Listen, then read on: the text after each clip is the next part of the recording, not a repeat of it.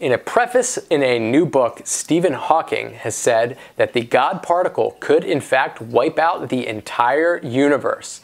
So, when we're talking about the God particle, we are talking about a particle much sought after called the Higgs boson particle.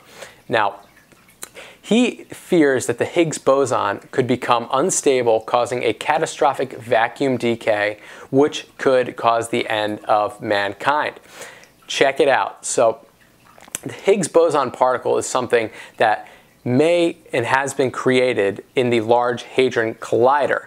It was discovered by physicists and is a vital ingredient to explaining why things in our world actually have mass. So he writes in the preface to this new book called Starmus, which is a collection of lectures given by famous scientists and astronomers, that the Higgs potential has the worrisome feature that it may be metastable at energies above 100 billion giga electron volts. Now, what does that mean?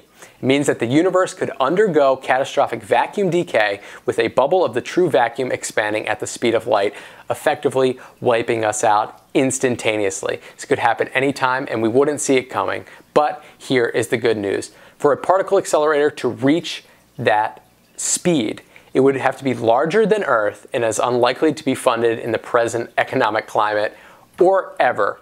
So this is a real threat, but Mr. Hawking seems to think that as long as we don't build a absolutely massive planet-sized hadron collider, we're going to be fine. Let me know what you think in the comments below. Don't forget to subscribe, folks.